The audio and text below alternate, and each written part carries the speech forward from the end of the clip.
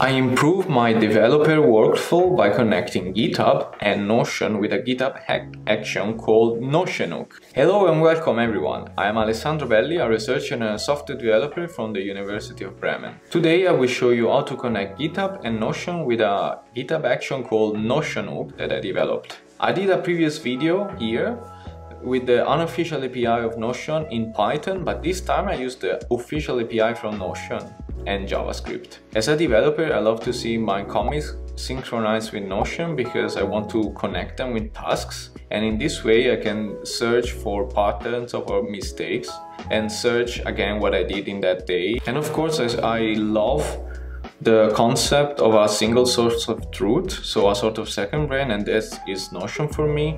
I understand that someone might think that it's not that good, and it's probably true, uh, but for now it always worked. I'm doing regularly backups and I think for now it's going all well.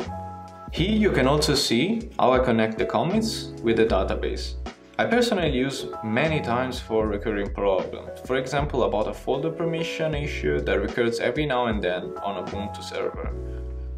In this case, I search for the task solve permission issues. Then I see the task and copy and paste the commands to perform the solution. For the developers out there, uh, interesting enough, with the multi-select column, if your value is not there, it's created automatically. This, this didn't occur with an official API and I had to spend time to do it while screwing up my database. I actually contacted Notion because one database was not accessible anymore because I destroyed some properties internally. How do you use it? You just navigate to this URL that you find also in the description and you just use it. And what does that mean? You need to create a epsilon ml file inside the .github workflows folders.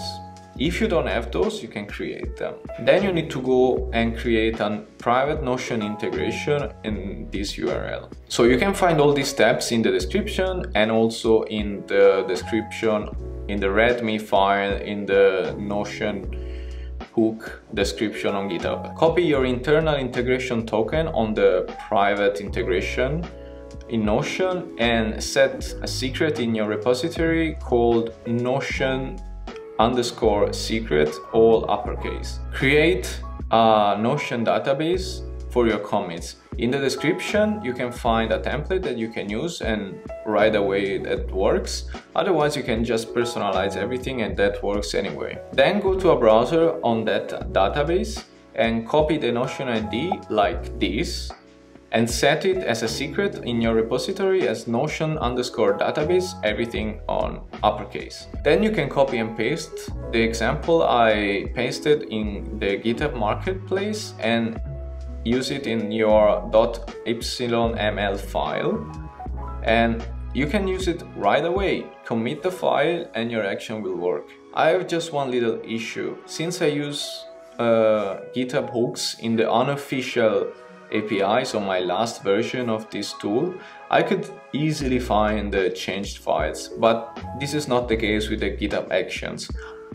If someone knows how to get the list of files, please let me know in the comments here or in the GitHub. You can create an issue or uh, anything there to help me. Thank you. And that's it. You can find the README on the GitHub Marketplace that explains really well. I hope you found this video useful. You might be interested in this video about my Notion setup or this video about how I overcome difficult times with Notion.